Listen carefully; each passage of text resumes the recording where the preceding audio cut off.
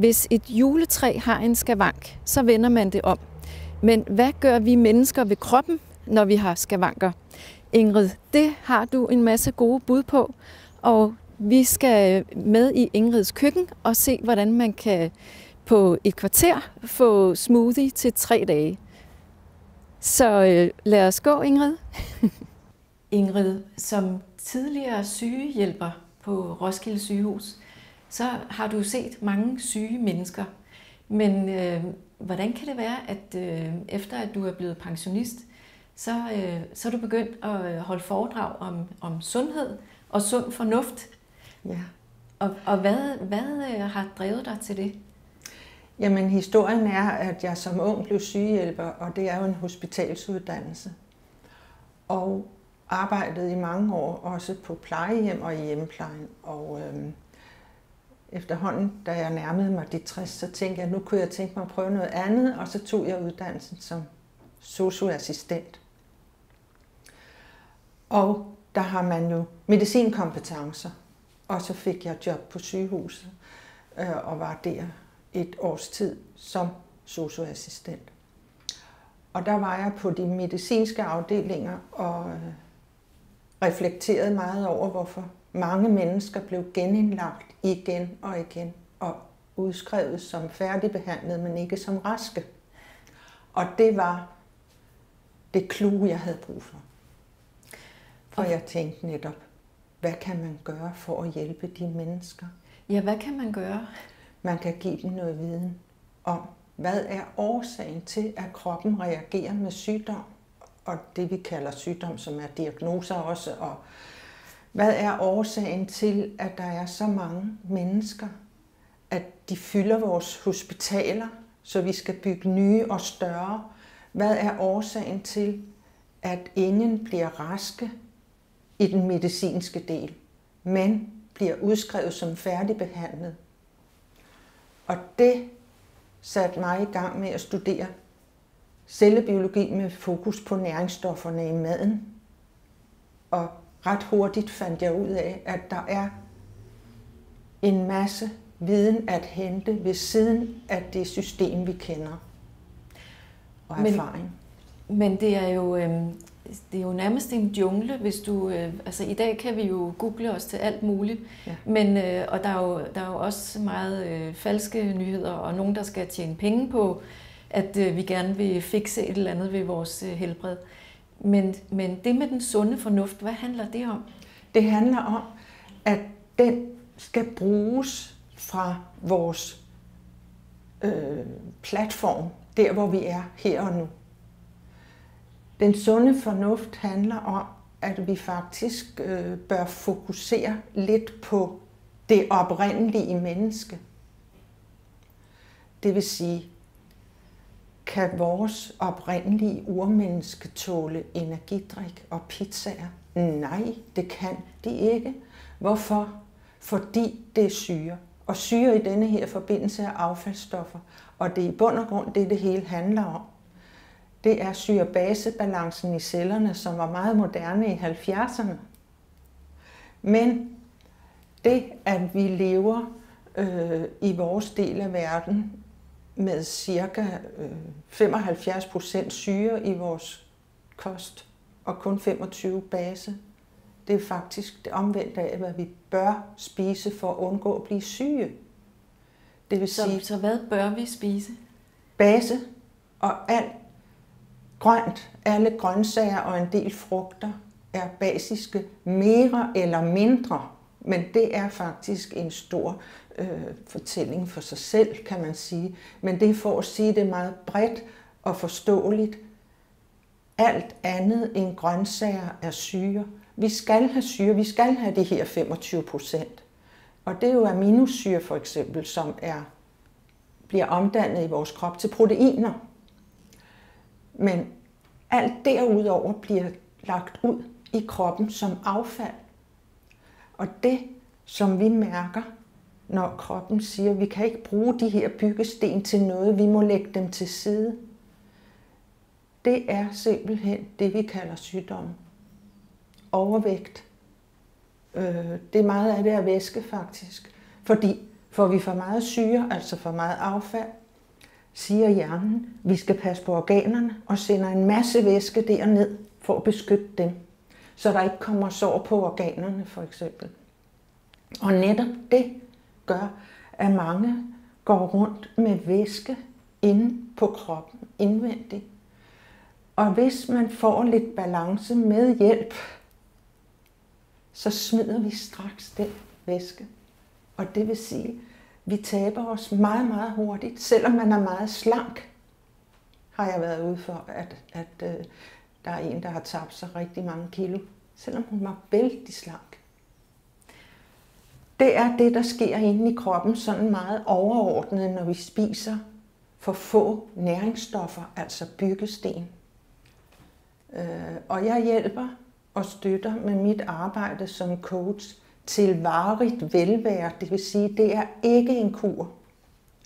Men så snart man får lidt hjælp og forstår, hvad er det, der sker, øh, så kan man starte op selv. Og jeg er der hele tiden.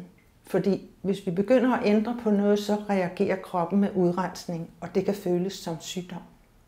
Hovedpine, halsbetændelse, alt muligt forskelligt i nogle dage, indtil kroppen finder ud af, nu har vi sluppet en del af de affaldsstoffer, så kan vi begynde at bygge nye fine celler. Og i november, der holder du jo foredrag i øh, caféen Local by Me ja. på øh, Musikon. Og hvad er det for en titel, foredraget har? Det er, hvis dit juletræ har en skavank, vender du det, og hvad gør du med kroppen? Så øh, skavanker, hvad, hvad gør vi med dem? Det er simpelthen at få lidt balance i kroppen, for så forsvinder de. Øh, jeg har selv haft rigtig mange forskellige skavanker og sygdomme og diagnoser og fået piller og alt muligt igennem rigtig mange år. Hvad, hvad kan det være for eksempel for nogle skavanker? Jeg havde forhøjet blodtryk. I perioder har jeg haft store problemer med maven, mavesår, celleforandringer, øh, alt muligt forskelligt, øh, svamp, candida, store problemer i forhold til det. Øh, depressioner, dybe, dybe depressioner. Og, og hvad, hvordan kom du ud af det? Det gjorde jeg ved, at jeg øh, for det første, øh, som jeg fortalte før, startede med at studere de ting lidt nærmere. Og øh, tænkte, hvorfor var der ingen syge i min barndom? at der må være en grund til, at jeg voksede op med så mange mennesker omkring mig på skolen, i min familie, naboer osv. i, i øh, 60'erne, 50'erne og 60'erne. Og kan ikke huske, at nogen var syge. Eller havde været på sygehuset, vi anede ikke, hvad det var. Eller fik medicin, det vidste vi heller ikke, hvad var. Så, så man, havde, man øh, brugte sin sunde fornuft, og så havde man ikke så mange penge til, øh, til sådan nogle overflødige øh, Præcis. Øh, slemme ting, vi ikke Præcis. har brug for. Og det er netop det grundlæggende i mine teorier, at grunden er, at vi har for mange penge. Vi kan gå ud og købe færdigfabrikeret mad, eksempelvis. Vi kan køre på tanken på vej hjem fra arbejde og blive mætte lige i øjeblikket. Men der er ingen næringsstoffer i det. I gamle dage var der jo næringsstoffer i maden. I dag skal du jo for at få de samme næringsstoffer i et æble, som da jeg var barn, der skal du jo have 10 eller måske 20 æbler. Vi har forgiftet vores jord jo. Så det hænger meget godt sammen med, med klimatanken. Absolut. At, øh, vi skal også passe på vores jord. Ja, vi er jo ved at, at øh, ødelægge så meget, at i den sidste ende går det ud over os selv. Jorden skal nok klare sig. Men vi ødelægger rigtig meget med giftstoffer, fordi vi skal producere, vi skal producere, og vi skal tjene penge. Og, øh, altså det, det hele hænger meget nøje sammen. Men jeg prøver at koge det ned hos de mennesker, som jeg nu hjælper så jeg laver allerførst en plan for den enkelte. Hvordan kan vi starte det her? Og det er fra morgenstunden. Vi begynder med morgenen, altid det vigtigste. Og når vi sover, så øh, arbejder hjernen med at slippe affaldsstofferne. Og det kan den kun, når vi sover. Derfor er søvn umådelig vigtigt. Og hvad for nogle vaner har du selv? Øh, altså, hvordan starter du øh, din dag om morgenen? Jeg starter den med base, og det er træk vejret dybt. Og jeg har vinduet åbent om natten, for det har jeg mulighed for. Fordi ilt er basisk. Dybe vejrtrækninger, det er så væsentligt, og det bør vi gøre hele tiden dagen igennem, for at få iltet kroppen noget bedre. Jo mere affald der er i cellerne, des mindre plads er der til næringsstoffer. Og ilt er det vigtigste næringsstof, vi har. Så jeg starter dagen med at trække vejret dybt og strække, for bindevævet fører affaldsstofferne ud og helst i toilettet. Fra morgenstunden så drikker jeg vand, som ikke er iskoldt, for det kan vi ikke rigtig. Så kan, kan, vi kan ikke rigtig få det varmet op, så vi kan tage det ind, før der er gået lang tid. Og så starter jeg med noget øh, basisk, og det er smoothie. Jeg drikker et glas smoothie hver morgen, som, som er lavet på grøntsager. Og så har jeg faktisk en god bog, og hvis jeg så havde lyst, kunne jeg så drikke kaffe og spise ostemad bagefter. Men der har mulighed, eller affaldsstofferne muligheden for at slippe, som vi har håbet op i løbet af natten. Cellerne lever som hele kroppen. Der går næringsstoffer ind, altså det vi spiser, og der går affaldsstoffer ud. De brutter os. Og det gør cellerne for langt de fleste vedkommende hele tiden. Men som sagt er neuronerne, altså cellerne i hjernen, de eneste, der ikke kan slippe affaldsstofferne, medmindre vi sover. Det vil sige, har man svært ved at sove, så håber det sig op og kan ende i forskellige udfordringer, som hukommelsen kan blive svækket, ikke? Øh, demens, alle mulige øh, altså at holde fokus og al den slags helt almindelige ting, kan være svært i perioder, hvis man ikke får søvn nok. For hjernen skal bare bruge den tid, den skal, for at slippe de affaldsstoffer. Så morgenstunden er vigtig, og bevægelse. Ilt, vand og bevægelse. Få gang i kroppen. Lav lidt strækkeøvelser, det tager ikke mange minutter. Øh, og øh, jamen, da jeg så begyndte på det, øh, det vil jeg så sige, så blev jeg sløj. Du blev sløj? ja, det gjorde jeg. Det er efterhånden 15 år siden, jeg startede så småt med det, men øh, gik all in for 10 år siden med basiskost i nogle dage, fordi jeg valgte at ville slippe min blodtryksmedicin, jeg havde fået i 15 år. Og øh, jeg havde så hjælp i, at, at jeg havde studeret de ting, så jeg vidste, jeg var nødt til at få lidt hjælp med homeopatisk medicin for at kunne slippe de her blodtrykspiller, uden at mit blodtryk steg alt for meget. Og så skruede jeg op for motionen. Rigtig meget. Og hvilken slags motion dyrker du? Nu går jeg til styrketræning øh, cirka 3-4 gange om ugen i lup, men det var en reklame. Men øh, jeg løber, går og løber og øh, i det hele taget bevæger mig meget. Og når jeg ikke er til træning, så laver jeg gymnastik inde i min stue på den måde. Øh, strækøvelser, pulstræning osv. Jeg har fundet nogle gode øh, små apps, jeg kan bruge. Og på den måde så kommer affaldet ud. Og det jeg opdagede, da jeg så havde været igennem den udrensning, som tog et godt stykke tid for mange år siden, det var, at når jeg vågnede, så var jeg vågen. Og det er jo det, vi som dyr skal være. For vi skal jo vågne og ud og søge efter mad med det samme. Og vi skal også ud og finde ud af, er der nogen fjender i nærheden, så må vi flytte os. Så det at vende sig om på den anden side, det er rent faktisk ikke særlig naturligt. Det er helt i orden, men det er ikke helt naturligt. Så jeg sprang ud af min seng en morgen og tænkte, hvad er det, der er forandret? Og det viste sig så, at jeg var glad indvendigt, uden egentlig at have nogen grund til det, hvis du forstår.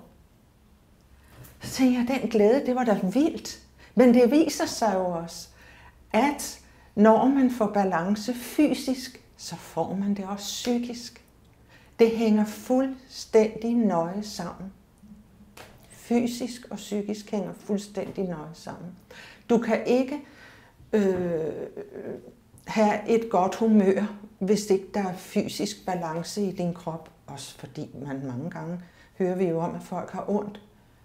Jeg har hørt en, en kvinde udtale sig om, at det er da meget naturligt at have ondt et sted. Nej, det er det absolut ikke. Der var jo engang et slogan, øh, der hed Lyt til din krop. det er rigtigt. Og, ja. og kroppen vil gerne bruges. Og, øh, og man kan jo ofte møde dig på cykel her i Roskilde. Ja. Er, er øh, Roskilde en god by, og, når man gerne vil bevæge sig? Ja, det er den. For det første, jeg cykler selvfølgelig, når jeg skal noget, hvor jeg skal købe ind eller noget andet. Og også ud i, i, til styrketræning. Men ellers så går jeg meget gerne og løber også. Går og løber, altså den her vekselmotion. Øh, og det der er ved at cykle, det er jo selvfølgelig rigtig god motion, men man får ikke bevæget overkroppen. Så øh, jeg, jeg vil helst øh, faktisk gå og, og gå og løbe.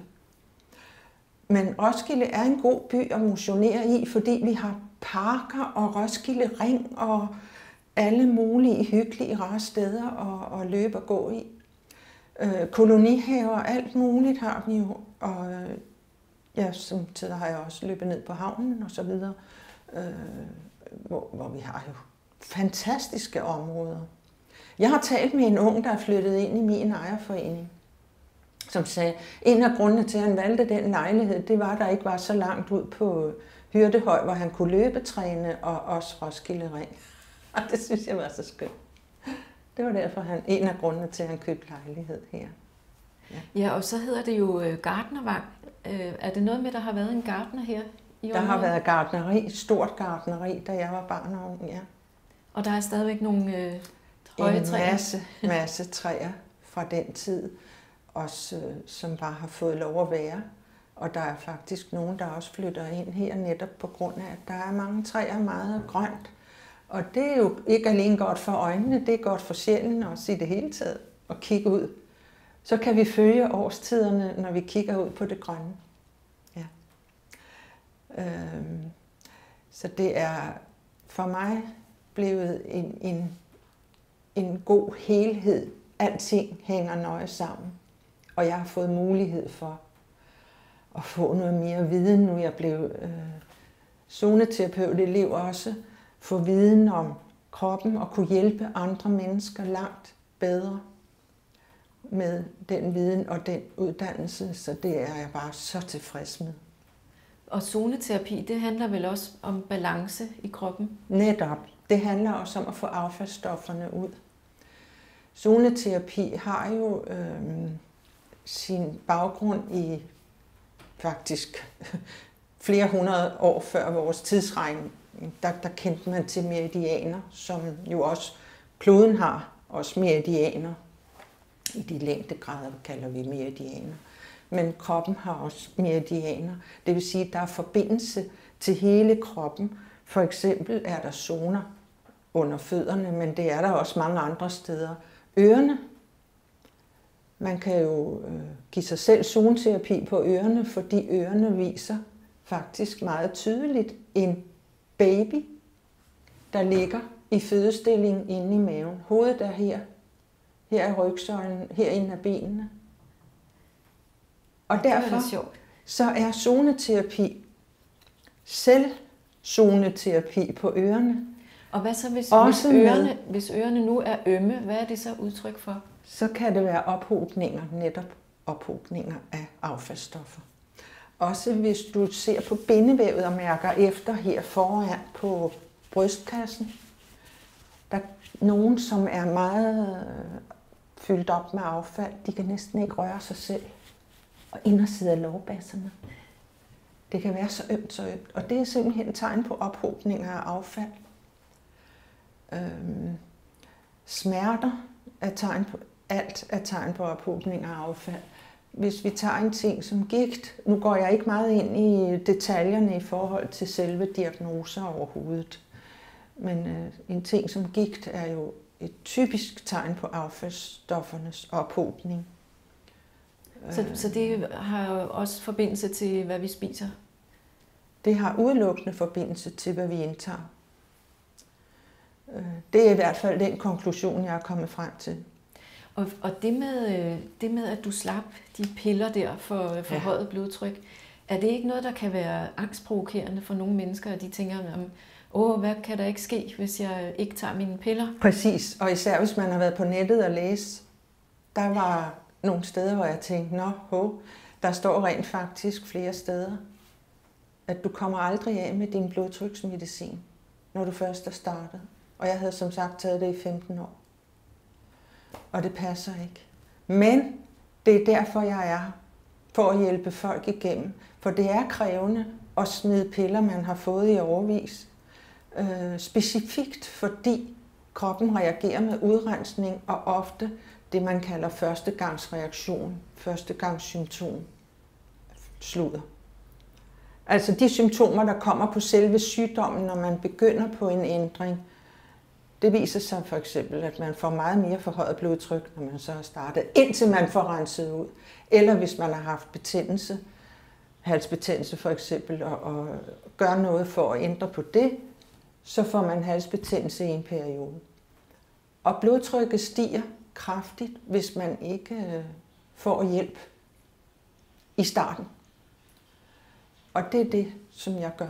Jeg hjælper folk af med det, men det er præcis det, du siger, det er præcis det, der sker.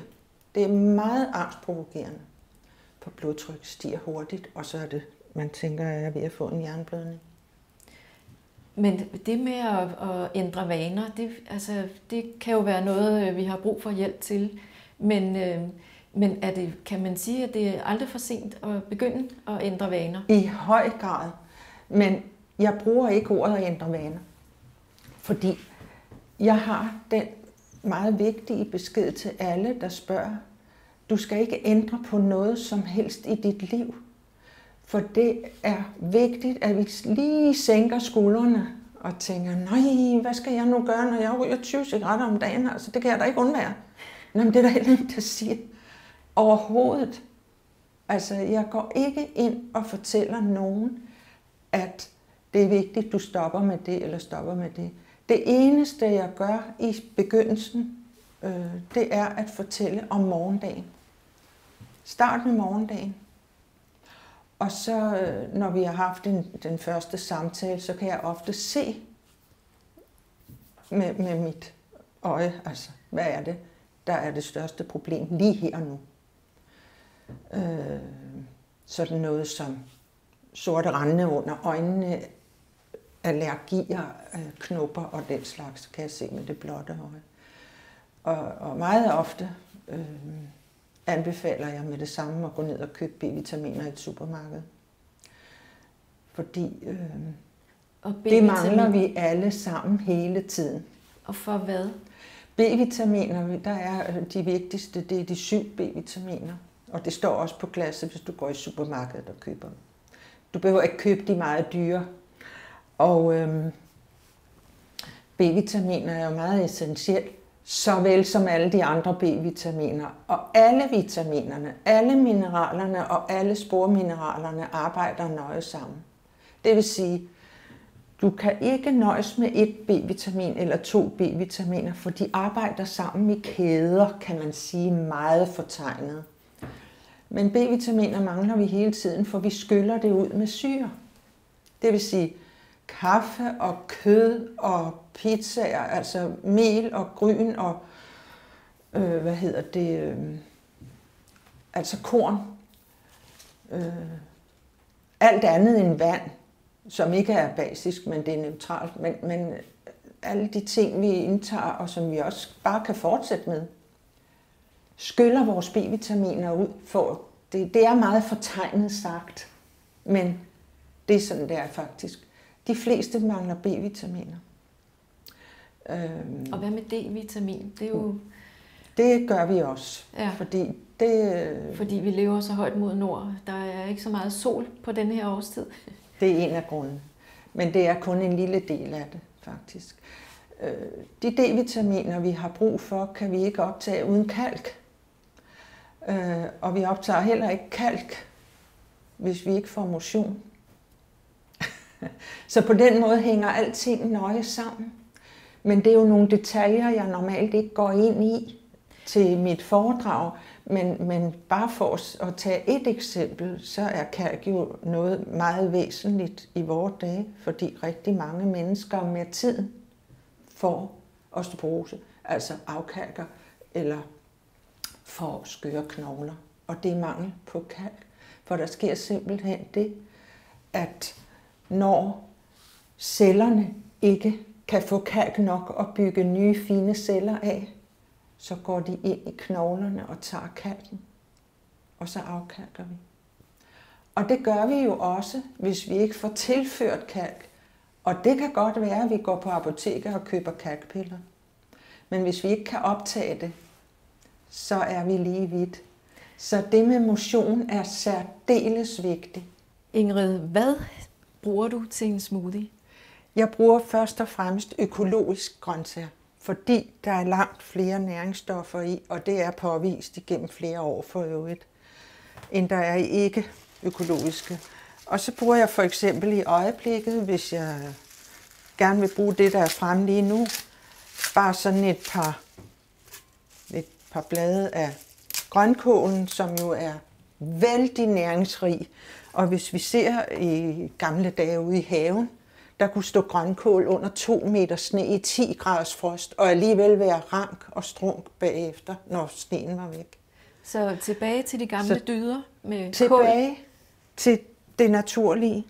Så bruger jeg lidt øh, citronskal, for der er cirka 30 procent flere næringsstoffer i skallen, end der er inde i selve citronen. Og så er det også vigtigt, at den er økologisk. Alt synes jeg, at jeg gerne vil have økologisk. Så tager jeg en gulerod og en banan og, og, og en du behøver heller ikke at skrælle. pære, som ikke er så køn. Jeg skræller intet. Jeg skræller heller ikke rødbeder, som jeg ikke har med i dag, men som jeg normalt bruger i smoothie. Jeg skræller intet, hverken gulerod eller... Jeg skræller selvfølgelig bananen, og så bruger jeg saften fra citronen til smoothie. Og jeg skræller også et, et, et fed hvidløg, og lidt skræller jeg af ingefæren. Æblet, der tager jeg lige blomsten, og ellers så ryger det bare derned også. Så det, det er sådan set lynhurtigt at lige putte nogle stykker ned, cirka en tredjedel, og så hælder jeg kartoffelvand i, fordi nu har jeg noget stående, som er meget basisk i øvrigt. Og øh, så resten op til cirka 3, altså cirka der er en tredjedel tilbage. Så det vil sige, at, at når man har kogt kartofler, så kan man gemme Gem noget vandet, af vandet? Grøntsager, gem vandet, drik det. Der er vitaminer øh, i? Der er en masse gode sager i, såvel som i selve grøntsagen. Og det giver også en, en øh, god konsistens, synes jeg, til min smoothie, som jeg har et eksempel på i køleskabet, hvis du vil se det. Det er min smoothie til tre dage. Lige knap. Og sikke en flot farve. Der er jo også rødbede i, og blåbær. Og så bruger jeg simpelthen et sugerør øh, og stikker ned, og så får jeg en masse grøntsager og en masse næringsstoffer og en masse antiinflammatoriske ting. Vil du øh, øh, vise os, hvordan du gør smoothien færdig? Ja.